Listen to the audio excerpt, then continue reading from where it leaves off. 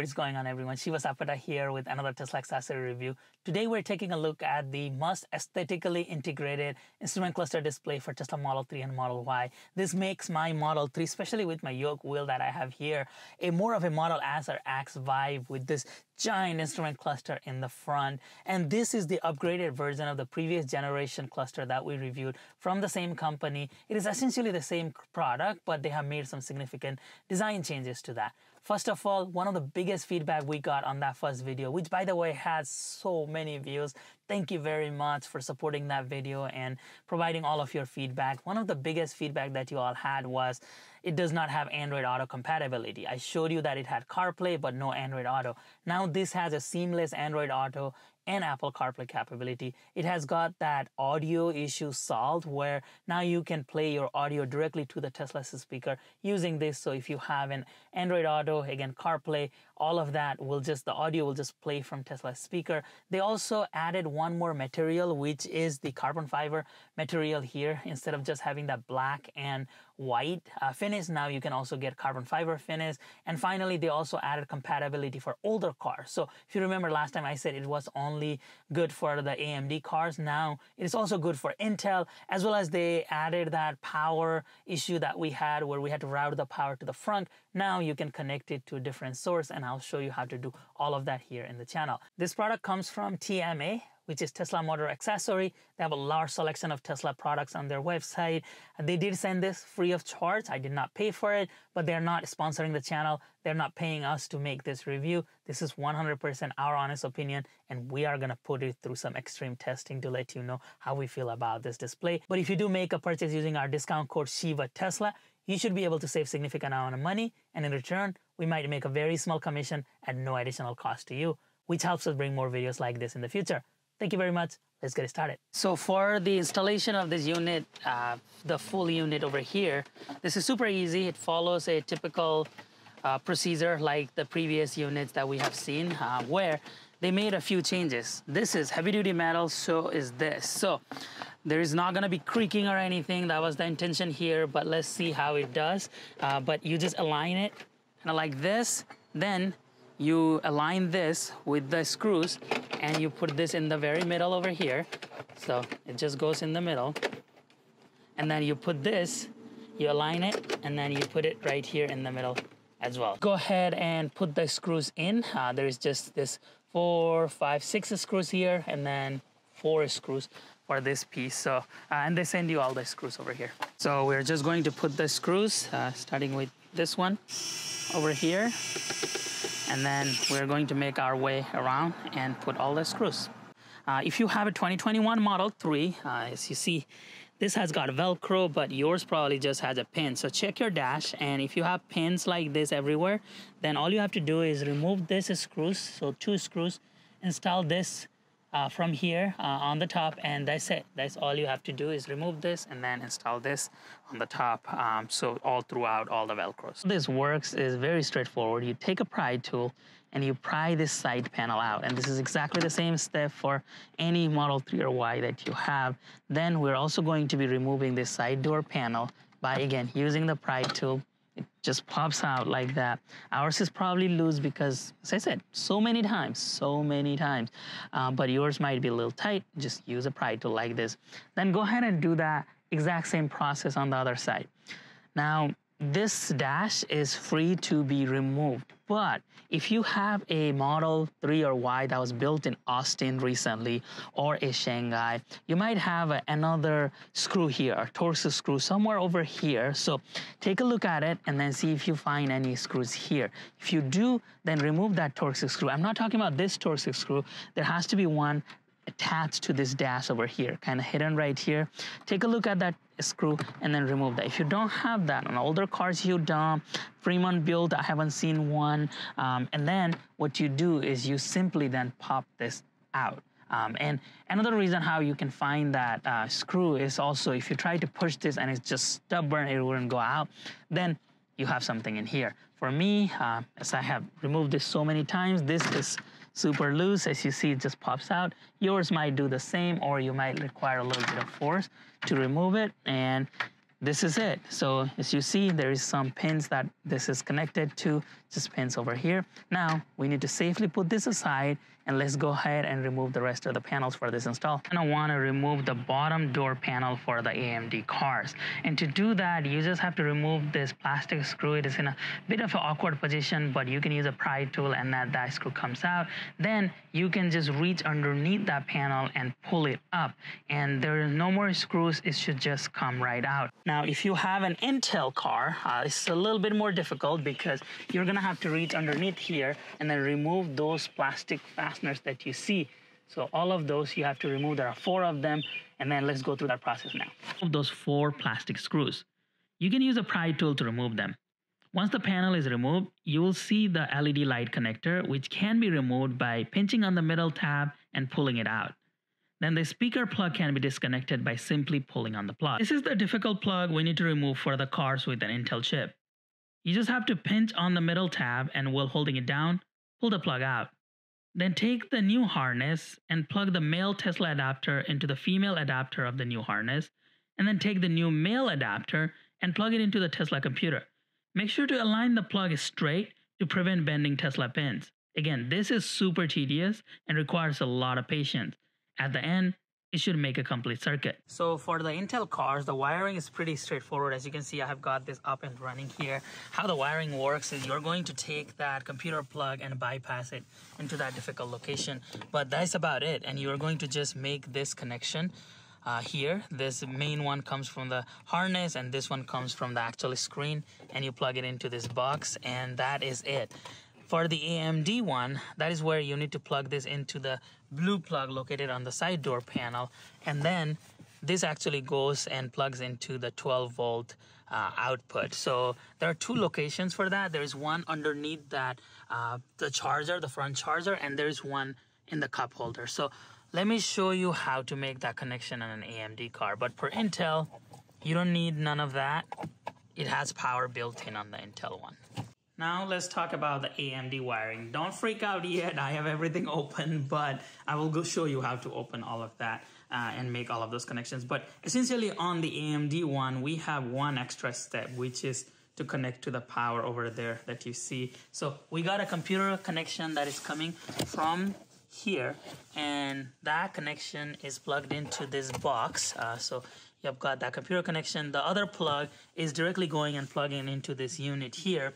Then we got this extra plugs for AMD that, that are Intel plugs because it's AMD. We're not going to need it. You can tape those and we're just going to hide those. Then there is that one cable and that cable, we're actually tapping into the front wireless charger to get that power.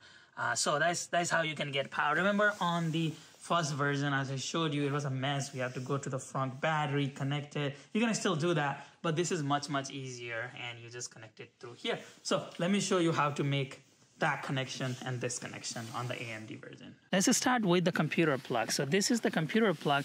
And if you look at it over here, you'll see there is a blue female port there. So what that is, that gives us all the communication that is required for this display. So we take this blue male plug and then align it over here um, and then we push it in so let me show you here so if you look at that we align and then you'll hear a click when it goes in and that's it so to get to that 12 volt there are two 12 volt there's one here for that cigarette lighter port and there is one that is connected to this guy here. Uh, it is much much easier to connect to this one in the front underneath the wireless pad. That is what is powering that wireless part. So there's a 12 volt outlet there. And to get to that, we just have to remove this top portion. It is really easy. Uh, you just have to pop this out and they're just using some clips to connect it. It feels like you're breaking it. You really aren't, but just be careful. And what we do is re essentially remove the side panels from both sides and this top one kind of just comes out. You can either use a pry tool to pry from the top or if you look at it, you can also just go from the top and then start pulling this out. So you can prop this out like this as well and it's already coming out. And as I said, it feels like you're breaking it, but you really aren't. And these are the clips that are connected to there and then they just kind of come out and that's what you do. Just make your way around and uh, do that from both sides before you reach underneath here. You can also pull this just a little bit. There are some clips there as well. Loosen it. Go to the other side and do the same thing. As I said, we're doing the same thing on this side as well. So we're just going to reach under and then pull it out. The sound that it makes is a little scary, but this is the only way to do this. And then when you prop everything out, you, depending on if you have ever done this or not, this might be a little tight. And then essentially this whole part just comes out like that. So there is that 12 volt uh, wiring here.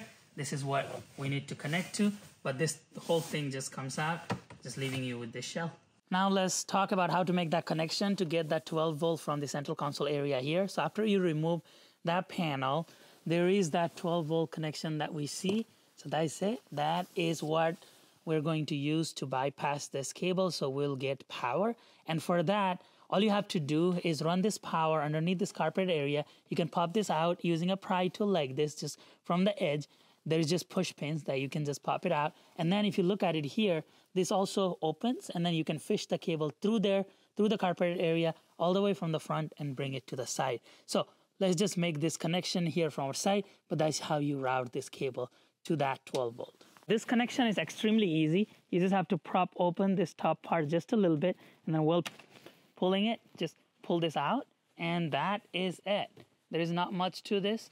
We're then just going to bypass this line. So we have got a male and female on this uh, plug here. So these are both females. Now we're going to bring the male plug and then simply plug this in.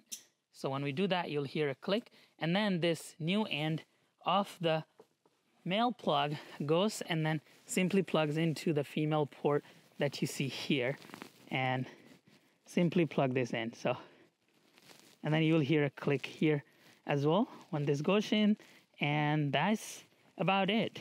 Just push this a little bit harder then you got a 12 volt here and then we got a 12 volt output as well.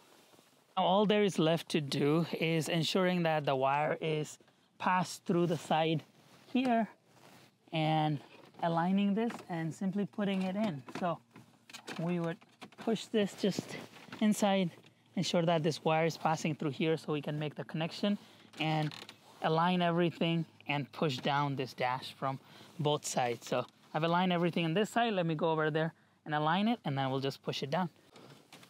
Just look to make sure that there's no gap here and push this and we are good to go. Now we can put the side brackets and we're done with the install. Now we just need to make sure that the wire that came from here went through the bottom and then connected to this unit. Again, we'll hide this unit somewhere on the side door panel over here. So this is what that side looks like on the passenger side. As you can see, we got the gloss carbon fiber finish and the unit looks really good. Again, that middle part, they're still using the joint, you can tell. But overall, it looks very integrated on this side as well. This is what it looks like on the driver's side. There's the air vent here, and of course, that air vent is blocking, but there is the airflow coming directly from the top. I did a whole airflow testing on the last video, so please check that out. But looks pretty integrated. Still have this annoying wall side animation, and I don't think it's gonna go away. All right, let's go over all the settings and everything that this offers. Just keep in mind that the camera is not doing a full justice of how this actually looks in real life. It looks really nice, bright, but uh, with all the glare and everything, uh, the camera might not showcase everything how it really looks. But this is basically from the driver's distance. I did not want to zoom in just inside. This is what you would see sitting on a driver's seat here. So these are the funs uh, if you look at it on the top there are those lights. So you've got both of those lights turned on and that's what the tesla is showing here. You'll see the alert the parking brake the seat belt and this is for the carplay so when we connect to CarPlay, I'll show you that. Uh, towards the right, you'll see speed and things that bug me a lot, right? Like MI slash H. We keep telling them just get rid of that thing, put MPH. I don't know why what is so hard, and it goes to 240 miles per hour. That's not right. So things like this, it's still there. We keep telling them, still there. Uh, but you see that here. You see the gear selection towards the left, you see the temperature, you see the power versus charge, and I'll show you here while driving what this looks like. Basically, it shows an indication of when you're accelerating versus decelerating, and of course, you got your battery percentage here. Uh, it shows the range, it shows the odometer, it shows the time. Uh, another thing, it says 12:26 a.m. It needs to be p.m. Uh, and it is synced. It is 12:26 p.m. here. It shows the date. So it shows everything, but there is still some bugs that they need to figure out. And one of the things that they changed was, if you remember on the older version, it looked like a a old battery sign from the old phones that you used to see, like from iPhone 3. Uh, so they they improved that to this version, which is a little bit better, and they made some changes to the UI here, but not too much. But in the main screen, that is what you see. You see the car logo here, and if I were to open the door, you see the door opening and if I close the door the door closes the front the trunk everything it, it shows right here and it shows the car. This is a little bit brighter than what the Tesla is showing but you know kind of matches what that looks like. And if we were to put the car into drive you'll see that the headlights are on on this animation and if I toggle the high beam light you'll see the high beam light. So they made some changes to the animation, which is cool. They're headed in the right direction there. But that's that's it. That's everything you will see while you are driving. They also have an auto pilot indicator here. We'll show you what that looks like while we're driving on the road. But in a static version, that's everything that you see. Now, this next one, uh, this is for the Bluetooth connection. Uh, so we'll show you when we do the demo of the CarPlay and Android Auto. Same here, there is the CarPlay, but because this is not connected, uh, we can go back. Android Auto is the same thing. And then here is a settings. Another thing about this is you can't control this uh, display using the scroll wheel button, which is a bummer. There is only the touch screen version here, and that's what you see on the setting. Uh, you got, uh, if we go all the way to the top, you'll see on the model, uh, you can toggle between the red car, blue car, gray, black. You can do Model Y, Model 3, hit OK. That changes the setting. You go to basis. This is language, time, temperature, time zone, brightness. Uh, you can do sync with the car. And right now I have it synced with the car. So if I were to change the brightness in the car, you see, it toggles with the car, day, night, auto, and set up all fun. That's the whole ambient light and fragrance that we talked about last time. We, we don't need to go through that. This does not support it right now. So there's no point in that but in the future if they make it supported then that is where you do set up all fun and a whole bunch of other settings come up. But for now this is it. The connection there is that c-link which is for the carplay connection and then there is the version here. And that's that's about it. That's everything that this offers. Now let's go back here. All right so let's take this out on a road like always and let's do some testing of what we find. This is what the driving view looks like I said earlier, there's that power versus regenerative braking. So that one is dynamic. That is new with this display. If you put the turn signal, you'll see that on a very big top right there in big bold. So that is working well. And um, the camera again is not doing too much of a justice, uh, but the graphic is kind of average too. It's not wow type of a graphic that matches Tesla's UI. So this is what you see from the driver's view. I have the camera mounted right in front of me, and that is what I'm seeing. And uh, yeah, it is very much synced up with the Tesla's screen. So everything that I see on the Tesla screen, you also see here. Now you get a view of the glare. So that's exactly what you see here with the glare. And it uh, does a pretty decent job of showing all the information. And as you see right here if you pay attention to the rear tail light so right now I'm not pressing on the brake but the minute I press on the brake that also shows that the, the car has the brakes applied. So that's dynamic. It shows uh, that information. Again this is it. You don't get anything more than this right? This is the this is the one UI that it has. There is no other UI options it's just a very simple graphics that shows all the information directly on your view. You're not gonna get anything else on this normal mode. One thing that I did wanted to test was if it shows autopilot information. So we're gonna give that a try here. So right now I have the FSD beta. So when the autopilot is available, it shows this gray here. Um, so that's the icon that you see. Uh, that means the autopilot is available for us to use. Um, that does not mean that the car is in autopilot mode. It just means that the autopilot is available to be used. Uh, so let's turn here and let me see. So I am going to put the car in autopilot. So only that max speed turned blue. This, this icon did not turn blue. So you can kind of tell that the car is in autopilot, but at the same time, it is not, that, that does not turn blue. And I think this has to do with the FSD beta uh, that I have instead of the normal autopilot. My other car has the normal autopilot without the beta. So it probably would show blue on the other car. Uh, I'm not sure. I didn't see that on the last version, uh, but they say that you should be able to see it in here. Um, I didn't see that. So the autopilot does not really work uh, for my FSD beta. So I also wanted to show you the dark mode, which is basically it is a black background. So in nighttime, it shouldn't be as bright. You can still toggle the display, uh, the brightness on your Tesla, and that changes the brightness of this. You can still do that from the Tesla, but this is what the dark mode looks like. It's just black background and it doesn't hurt your eye as much at nighttime. Okay, let's talk about Apple CarPlay and Android Auto. And let's start with Android Auto here first because last time we didn't have Android Auto. So I have got an Android phone here and I have already connected this phone to the Tesla. So Tesla Model 3, and if you look at it, it says test phone. That's the Bluetooth I have connected. So right now I'm able to play everything from this phone and the Tesla's speaker will play uh, whatever I'm listening here through the Tesla's screen. So that's the first step you need to do both for iPhone and Android is to connect your phone via Bluetooth to the Tesla. Now we're going to connect the same phone to this display so that we can get Android Auto from here visually on the display, but the audio is going to come out of the Tesla.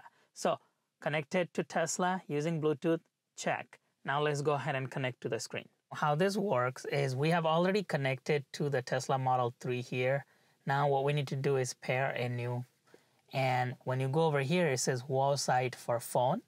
That's what we need to hit pair, and it is pairing. It will ask for the pairing code, pair, and it is connecting, and the screen just turned black. And this is the first time we're doing it, so it may take a little bit of time for it to recognize there is the, the Android Auto that pop up for just a little bit. That is how typically how the process works. And then you see right here, Android Auto is active and we have got Android Auto.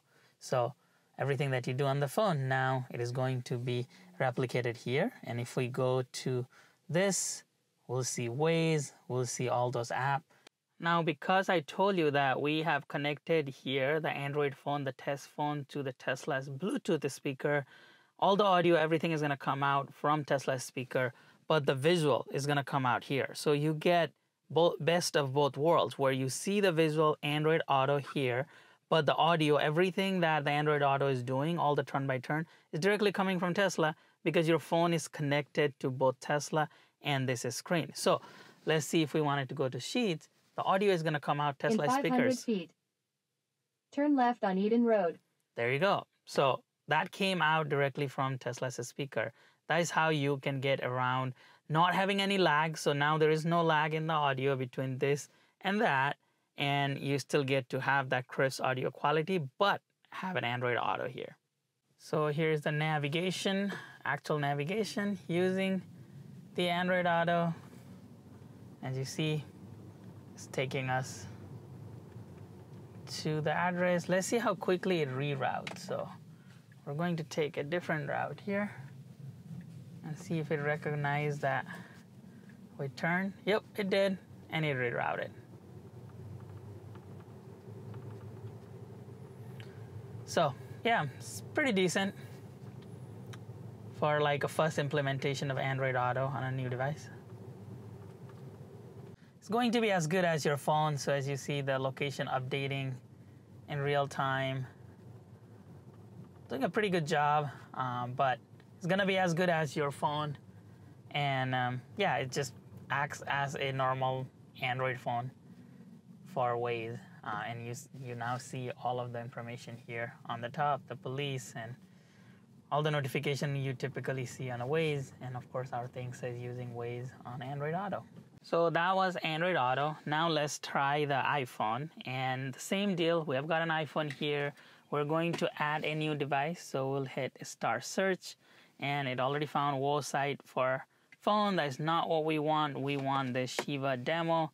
So we'll do that and then it'll allow us to uh, connect to that phone. That's pretty standard protocol with Tesla. I mean, it got a pairing request. So you have done this many times and we'll just allow everything. All of a sudden, that device is connected. And that's what you need to do first is you need to make sure that your phone is connected to the Tesla, which it is connected now. So everything, the audio coming out of this phone will directly go to Tesla. No audio lag issue. We're not gonna mess with the audio on this device. We only need this device for visual. So there you go. Now that is connected, let's go ahead and connect our iPhone to this device. Exactly the same deal as Android Auto. We're gonna go over here in Bluetooth and hit wall site for phone. And um, it will allow us to pair, which will hit yes, allow to sync, and then it's gonna ask if we wanna use CarPlay. And that's when we need to hit yes again. So it is connected, just give it a second. It will ask us if we wanna use CarPlay. That screen went blank, use CarPlay. And that's it. It's pretty straightforward is going to update here in just a second and it will show CarPlay. There you go. We have got CarPlay now seamlessly connected. We also have Tesla Model 3 connected. That means the audio is going to come out of Tesla. The visual of the CarPlay is going to come out here. So now we can use a full CarPlay while not jeopardizing the audio at all. And this is an older phone. This is an iPhone 7 Plus, and it allows you to do that. And this is your full CarPlay, just a standard CarPlay. You get all the buttons over here. If you push this, you'll see everything, the split view, and there's your CarPlay. And we can go to Apple Maps. We can minimize that. We can go to Waze, and we can just put wherever we want to go. So let's say category. Let's hit groceries. It's searching. It's found giant, and we hit go now. Let's go. And that Make a U-turn. that audio is coming actually from Tesla. Remember I told you earlier we connected the phone directly to the Tesla's speaker and now that audio is coming from Tesla's speaker but the visual we're seeing it right here and this is going to update as we use the car and start moving. So you're going to see that navigation start moving there you go. So now we're going. We're gonna get out of this parking lot here. And In 400 feet, turn left on Eden Road. And that audio again, that's coming from Tesla. That's Tesla's speaker. So if you get a phone call, let's say, anything that you get in the CarPlay, the audio is gonna come out from Tesla's speaker. So that's actually turn solves left on Eden Road. big issue here which is really nice. Now we have demoed it both on Android Auto as well as the Apple CarPlay. And let's say if we pass this, let's see how quickly it updates. Yeah, it took a second, but it realized Turn left. We're past it.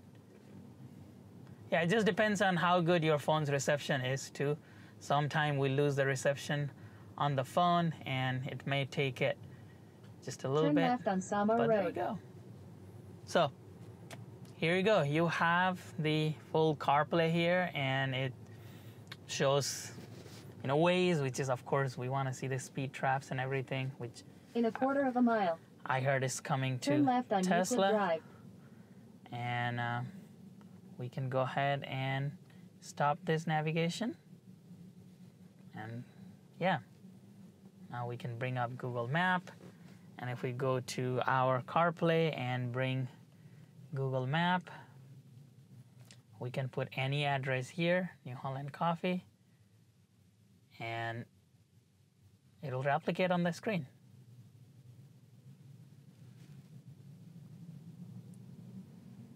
There you go. And we have turned the audio off, but we can turn the audio on.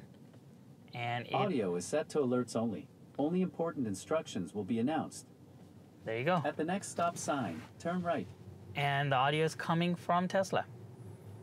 All right, so I've got my state-of-the-art airflow testing here uh, that we have used in many videos to get a gauge of how much air do we get. So of course, right now, everything is off. So the air conditioning is off. You're not seeing anything come up here. So now what we're going to do is blast our AC.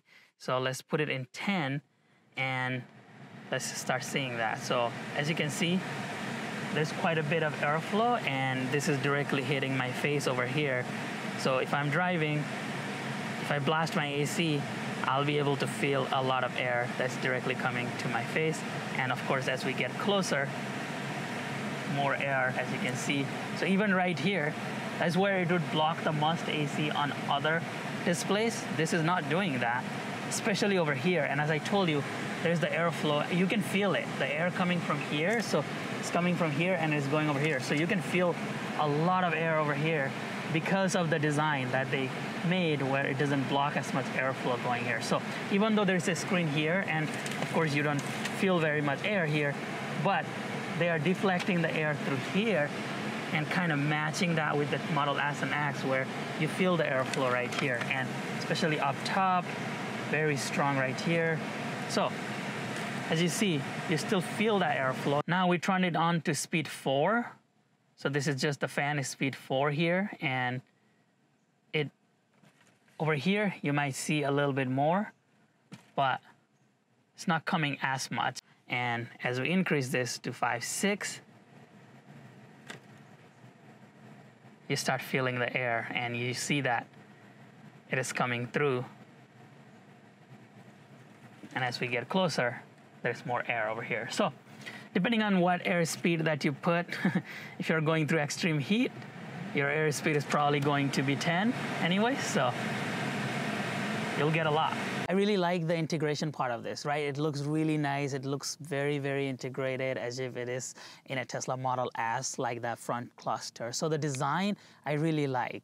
Another thing I like now is that they support Android Auto. The first version was a turn-off for many people because there was no Android Auto. Now this version includes Android Auto, so that is a big plus. They also made some changes to the UI. I also really like that the dual Bluetooth setting now works with this with the Tesla screen so that you don't have to go from your phone to this screen to the Tesla screen. You can leave your phone connected to the Tesla screen and just connect your phone to this device. That way you get the Waze, you get all the Apple CarPlay and Android Auto, the visuals on the screen, and audio comes out of the Tesla. If you didn't know that you had connected to both, you would think that it's just seamless integration. And once you connect it, you forget about it and it is always connected. Uh, so that's all good news. Uh, they made some changes, they made some improvement.